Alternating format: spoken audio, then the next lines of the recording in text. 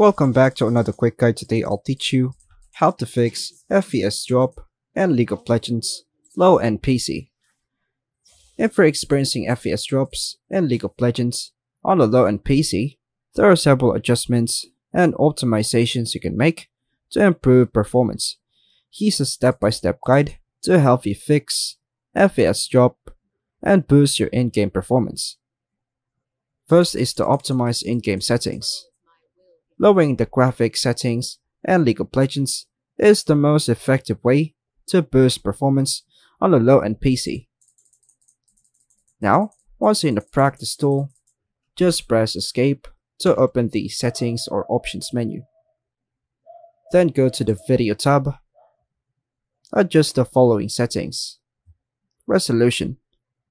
Set this to a lower value, such as 13 times 768 or even you know 1280 to 720 if you need more performance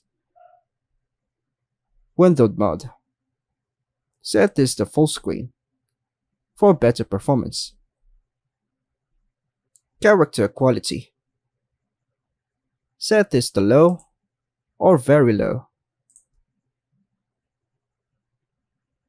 environment quality Set this to low or very low as well. FX quality, you can set this to very low. Shadow quality, set this to off.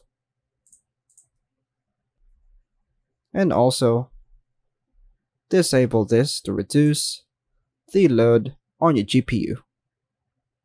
Frame rate cap, set this to 60 FPS or just uncapped sorry. Every PC can handle it.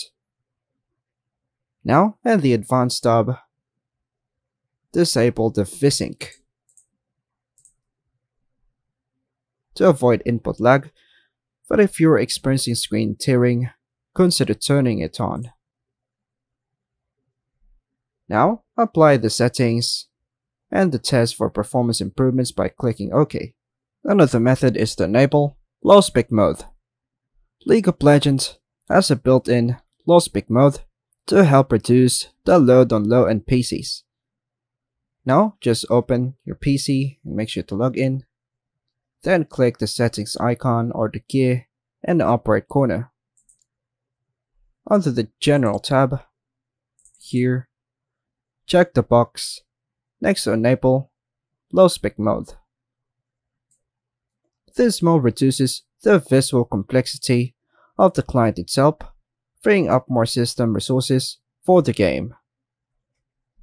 By following these steps, you should be able to significantly reduce FPS drops and improve performance and League of Legends on your low-end PC. Adjustments to in-game settings, proper system maintenance, and resource management are key to a smoother gaming experience. And that's all for now folks. Thanks for watching.